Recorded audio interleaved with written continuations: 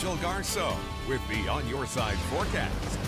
All right, if you're already feeling nostalgic, maybe for the 70s, hang in. Not, not the 1970s. That's a whole different era, a whole different thing, right? I'm talking temperatures in the 70s. Look how close will get by the end of the work week. One more cool day today. Then look at our trend heading into the weekend. We'll hit mid 60s, 70 by Monday.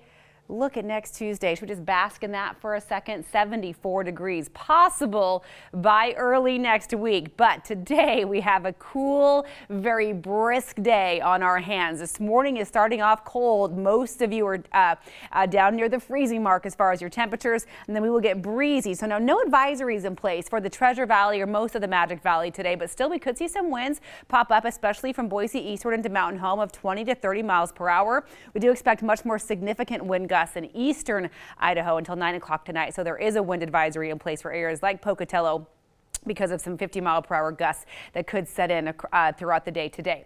Now we have some moisture moving by to our north. This northwesterly flow could bring some showers to our mountain locations here before too long. An inch or so could pile up if the showers come to fruition. At this point, we're starting off dry across most of southwest and southern Idaho. Eastern Idaho picking up a little bit of snow right now, but those clearing skies have allowed temperatures to drop down into the 30s. Now tomorrow we'll see some cloud cover start to move in. That'll get mostly cloudy skies by Thursday, but also we'll have some mild weather really start to build in in the coming days. It is going to be lovely by the end of the work week. So here's the cold air for today. It'll slide off to the east over the next couple of days. By Thursday, we'll see some precipitation around, but likely most of it will stay to our north and to our south. So we'll kind of be sandwiched in between. So a cloudy day Thursday, a slight chance of a shower. Then look at this. Here comes a nice warm weather. We get rid of the purple color on this future cast. That's good news. That means we have mild conditions setting in, and that sticks around as we saw on our futurecast all the way through next Tuesday. So temperatures really get beautiful in the coming days.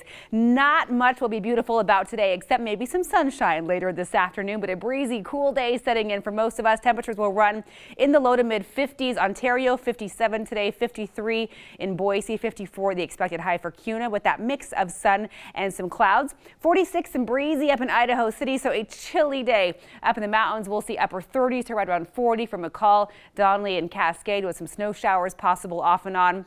If the precipitation lingers into the afternoon, it'll likely be a rain snow mix or just a couple of rain showers. Fairfield, you will be cold today. 43 with a very brisk wind throughout the day. 40 and breezy up in the Wood River Valley, so about 41 degrees expected in Sun Valley. Partly cloudy, but very windy in Twin Falls. 47 is all we'll see for that high temperature. So we're starting off with a wind chill of 18 in Twin Falls this morning. It'll feel like you're just running in mostly the 30s all day long. So it is going to be a very, very brisk spring day across across the Magic Valley especially, but expect that breeze to pop up pretty much everywhere from the Treasure to the Magic Valleys today. Another cold start tomorrow morning as skies will clear up later in the day today, but then our temperatures jump by almost 10 degrees tomorrow.